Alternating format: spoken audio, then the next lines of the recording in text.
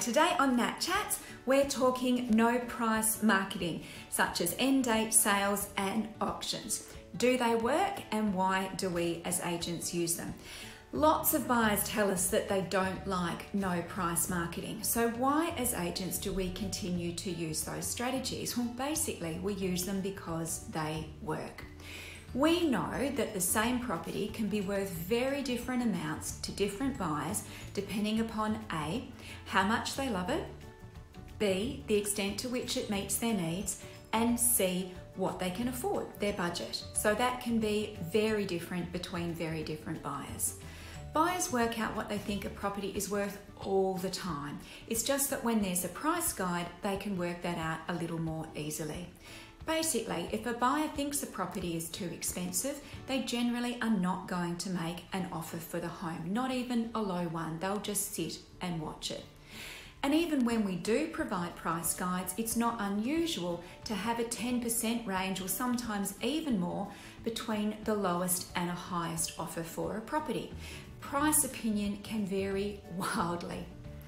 When we take a property to market with no price, it's often because we, as the agents, aren't sure ourselves what the best buyer might be prepared to pay for the home. And we don't want to lose the genuine early buyers by accidentally overpricing the property or indeed risk underselling it and getting a poor result by underpricing it.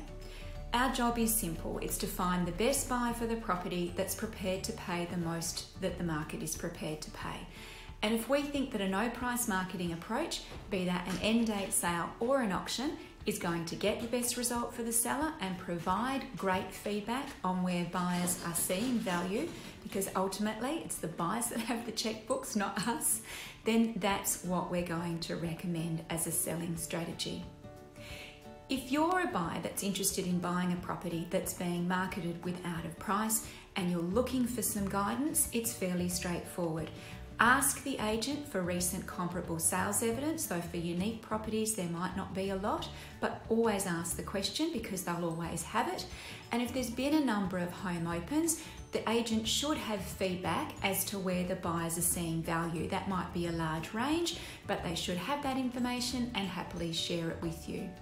Don't be surprised though if the agent actually asks you for your opinion on value and price because you, as a genuine buyer, and what you think it's worth is more important than what we or the sellers believe. And we're there to collect that information and feedback from the market. If you're a seller in fickle markets like the one we're in now, no price marketing can be even more effective than pricing in reducing your length of time to sell and getting a premium result.